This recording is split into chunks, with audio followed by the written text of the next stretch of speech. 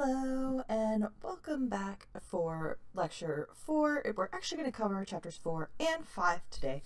Um, so let's get started. You'll see they're all going to interconnect, uh, so it'll it'll make sense. So let's get started. Chapter four is following the data. So we want to primarily talk about data. We're going to look into data modeling, how we use that as a technique to organize our data. We're going to look into some simple data modeling techniques. Um, and then we're going to talk about why data scientists need to have these data models. So let's go ahead and get started. First, it's important for us to understand the existing data source. The, the critical starting point for any project is to follow the data in order to be able to improve upon a data system, so say you want to improve efficiency, you're going to have to really understand what's going on from all angles. Okay, you're going to start by thinking of all the processing steps and follow that through the data along their the data's journey. Um, things such as detail of content format, senders, receivers, etc., all of that stuff is going to help you get those answers that you're looking for. But what are the questions? So, following the data involves asking yourself all sorts of questions, such as where does the data go? Um, is the data changed? Is it added to? How is that data transmitted? What is the security once it's transmitted? Um, is the data processed? And if it is, how many steps are there in the processing? And what are those steps? Uh, how is it used at any of the destinations? And, and all other sorts of questions that will give you sort of the understanding of how the data became what it is and if it went through any kind of processes.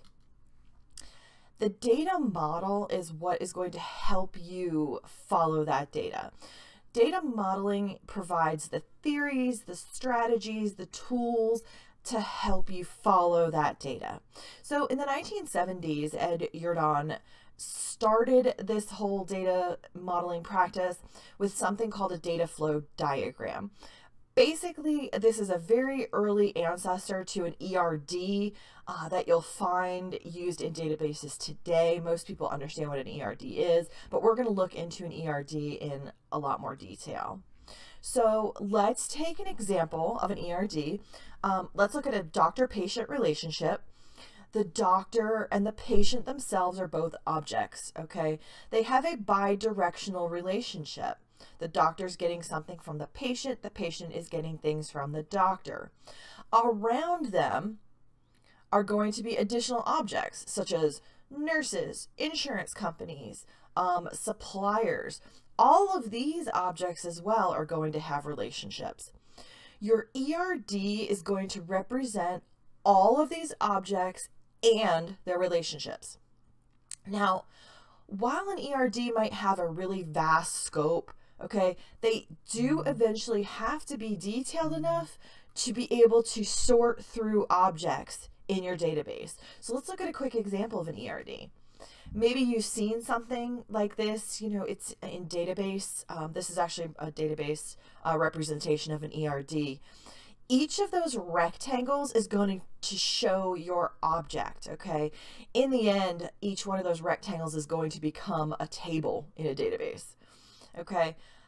It within that object, the object has attributes, okay? So say a patient, your patient's gonna have a patient ID and a name. Okay, the same thing with a provider. Your providers or your doctor is gonna have an ID and a name.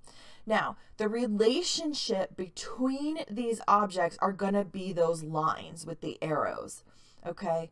So those lines and arrows are gonna show who and how, So now the big question is why? Okay, why do we need these data models? So data scientists often have to work with existing data rather than data that they have collected and organized themselves, okay? It's really important to understand the data models and the systems so you have as much understanding about this data you're being handed as possible. This is going to give you the tools to better organize and work with it. So let's now get into chapter five. And what we're going to do is we're going to take some of these ideas and we're actually going to implement them into actual tables in R. So chapter five, we're going to start off by talking about rows and columns. We're looking at basic table structure, a 2D table structure with rows and columns. So now that we know what data models are, we're going to look at a data frame, okay? And we're going to look at how that's used to organize data. We're going to do some coding. I'm going to do some examples here in lecture and learn how to create data frames using R. Then we're going to learn how to access the columns in the data frame and learn some additional functionality in R as well, like mins and maxes and sums. It'll be fun. It'll be great. So let's get going. The most common method of data organization is a two-dimensional organization of a table. Tables can be found in um, Word documents. They can be you can use an Excel spreadsheet. Okay, tables are going to use those rows and columns to organize the data into some kind of grouping. Typically, the horizontal rows are going to be your cases or instances, and the vertical columns are going to be your attributes or your values. There's a lot of different interchangeable terms here. Computer scientists use the terms attributes and instances, while statisticians are going to use variables or cases. We're talking about the same thing. So either is fine as long as you're consistent and you understand what they mean. So your columns are going to contain the same type of information all the way through the column, up and down. Okay, so say for example, we have a column called age. That age column is only going to have numbers. Okay, we can have a name column, and that column is only going to have strings and names. Each column is going to have to have the same number of entries. Okay, so you want your rows to be complete as you go down. Let's take a look at in R and let's implement some of these ideas. So I somehow screwed up my sound when I was recording my screen, so I'm going to try voiceover. So I apologize in advance. Just going to say that. So go ahead and start your R program, get it ready to go, and we're going to do a little bit of a review from last time on creating some of these vectors and how to store them into variables. Let's start by creating a vector of my family names. So let's call it my family names. Give it the assignment operator, the less than and dash. And then we're going to type a C for combine, the parentheses, and then let's put some names in quotes. So let's start out, we're going to put dad, mom, sis, bro, and dog.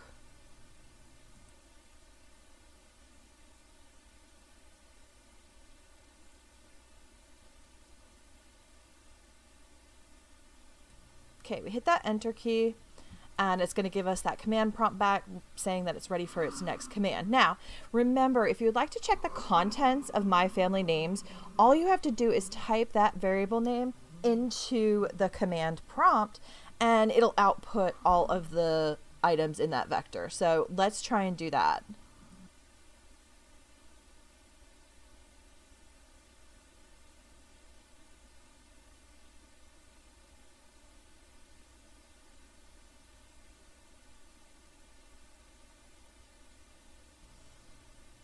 we can see here it displays that line number and then the five names that we put.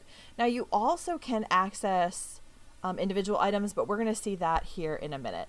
Now names in quotes are going to be strings of characters and just know that if you don't have quotes, it's the going to be treated as like a storage location or as a variable. So let's create a few more vectors. We're going to create a vector of my family ages, we're going to do the assignment statement, then combine, and let's do 43, 42, 12, 8, and 5. Okay, remember again, you check those contents by putting in the variable name and hitting enter, and they look great. Now let's access a single element of this vector. In order to do that, we're going to use square brackets. So we type the variable name and then put the square brackets and then the element number we want to see. So let's look at element 2, which is going to give us the second from the left, and so it should display 42. So when we press the enter again, it gives us the line number 1 and the actual answer display of the number 42. Let's create two more vectors, my family genders, and we do the assignment. We'll do our combine, and let's say uh, male, female, female, male, and dog. We're not going to gender our dog. I feel like that's appropriate, right? Okay, we hit enter, and we're going to check and make sure it loaded the way that we anticipate.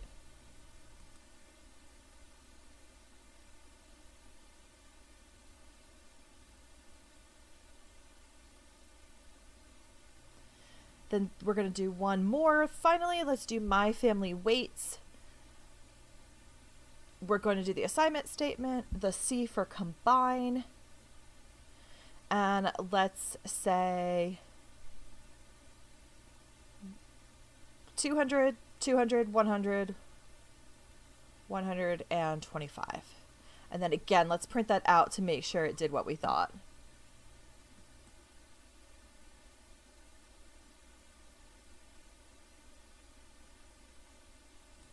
There we can see it did hold the values for those weights as we anticipated. Now R will, if you run out of room going with side to side, it will put a plus at um, the end of one of the lines. Just know that that is just meaning it is a wrap. It is not a command. So if you do get that, um, we won't get that now, but maybe later on down the road. So on to the next.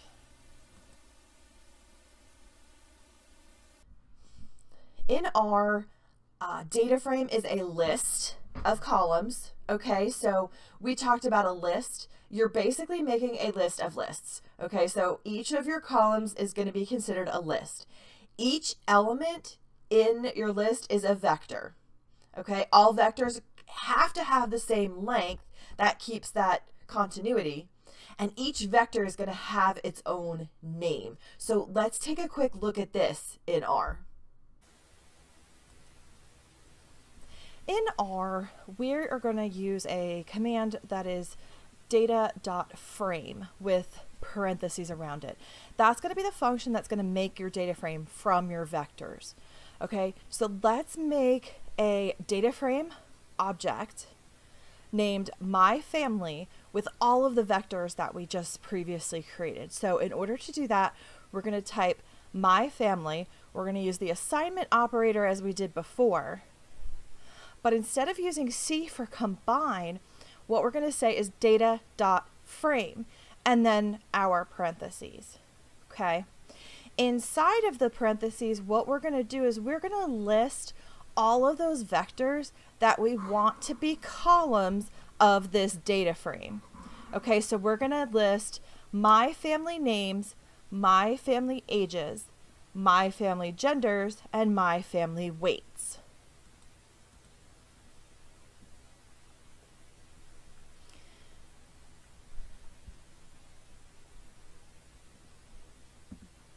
Now, when we hit the enter key, it's going to bring us back to that command prompt, but let's go ahead and check our object to make sure it has the desired information that we want in it. So we do this just like we do with the vectors, and we're going to type my family and hit the enter key. What you can see displayed here in kind of a table format is your data series. So here's your data frame. You've got each column is going to be one of your vectors. You've got row numbers that it starts out with, and you see how we've got dad, mom, sis, and then you've got the ages, you've got all of the genders listed, and you have the family weights. Now, this is nice and easy, and it's a small data set, but a lot of times you will be working with larger data sets.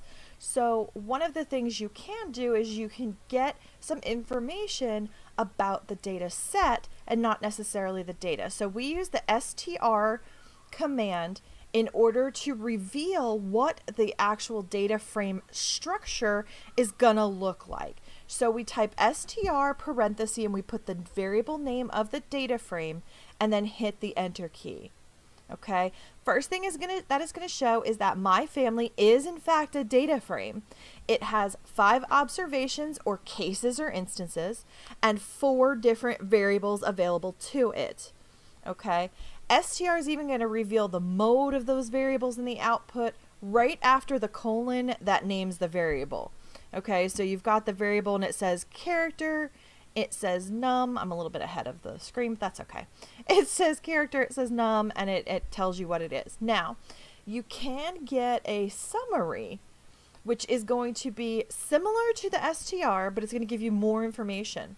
Summary is going to reorganize that data frame in the output, okay?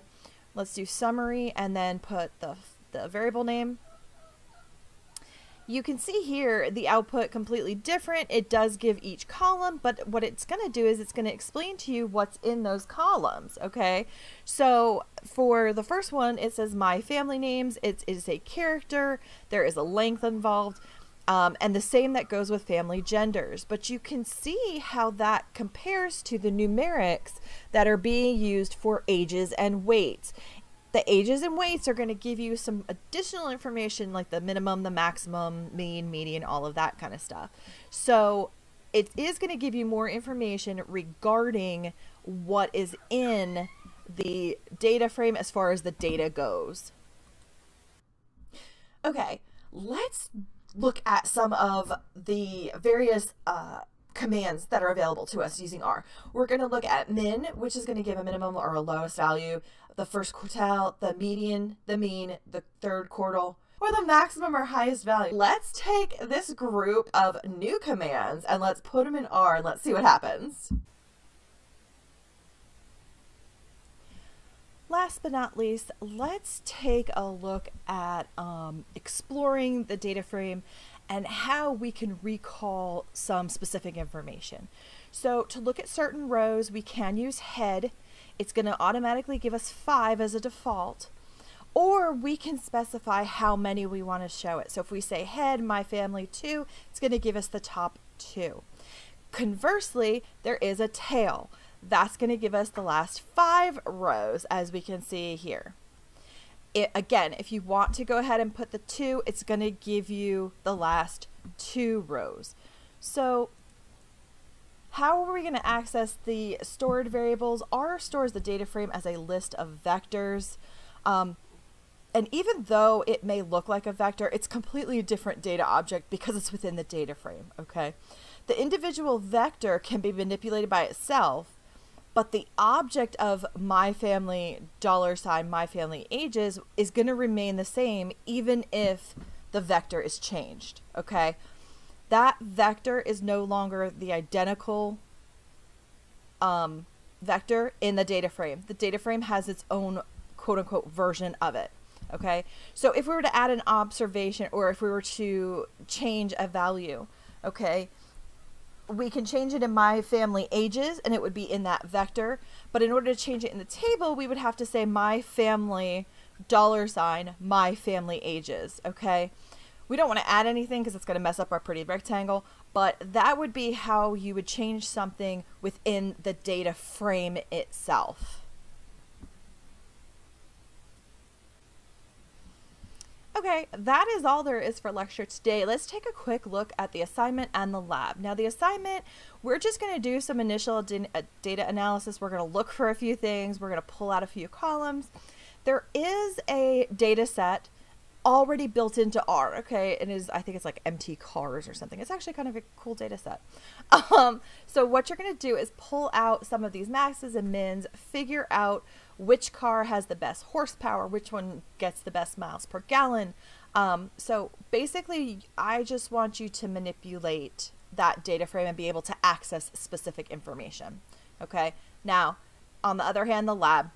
Um, it's going to walk you through and ask you to do a few different steps. Again, you're going to be using that same data set that we used for the assignment, um, and you're going to collect some necessary data, and you're going to add your own, you're going to kind of make your own um, data set. Okay, so you're going to create some vectors, you're going to make some like user IDs, Um, and again, you can just make up this information. That's fine. So for the assignment, uh, screenshots in a Word are fine. Um, and the same thing for the lab. If you can't get your text file to upload, just take a screenshot. So good luck, happy coding, and I'm always here if you need me. Shoot me an email.